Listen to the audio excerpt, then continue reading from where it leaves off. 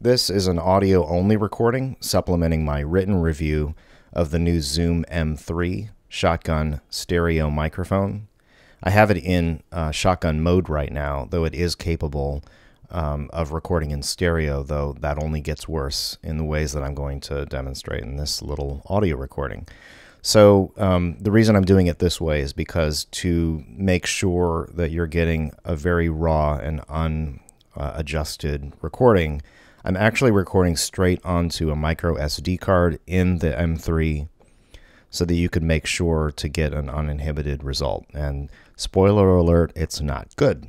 So that's the whole point of this audio only recording uploaded to YouTube as a video. The first test I'm going to do is going to just test the shock mount that's built into the Zoom M3 because it is, after all, designed to be mounted onto a camera. I have it right now on a Sony FX30, but again, that's kind of irrelevant because you're getting the recording straight onto the micro SD card rather than through the analog stereo output going into any mic inputs recording onto the camera. So here we go. I'm just going to push a few buttons not in an exaggerated way, but just to show you that the shock mount isolation really isn't very good.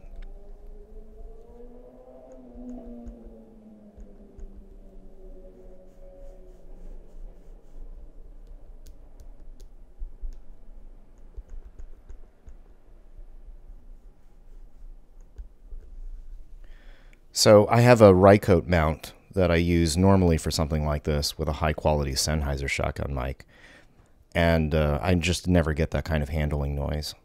So that's the first problem. But really, the main thing that this recording is meant to do is to really expose an incredibly low level of RF shielding on this product that is bizarrely picking up on radio frequency waves from probably FM or AM broadcast radio.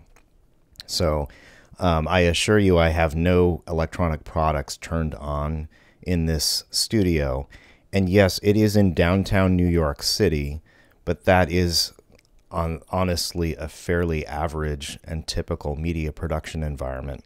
So this product is um, picking up on all kinds of things that probably would happen in many places that uh, Zoom could have predicted. So here we go. What I'm going to do is I'm going to walk around the room and end up at the place that tends to dwell around windows and pipes where um, the RF interference is, is transmitting the most, you're getting the actual noise not from the microphone itself, but from RF interference. So here we go.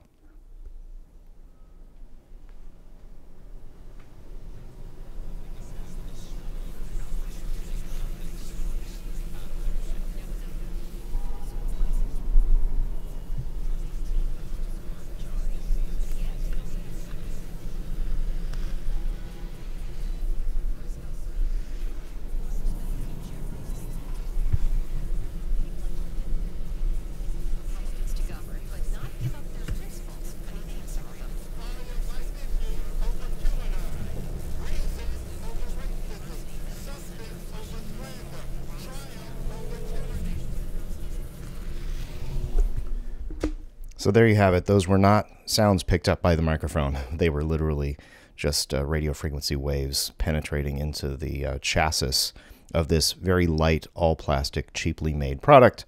And I just simply would conclude Zoom simply should not have brought this to market. It's just not ready for everyday situations. That's all for this.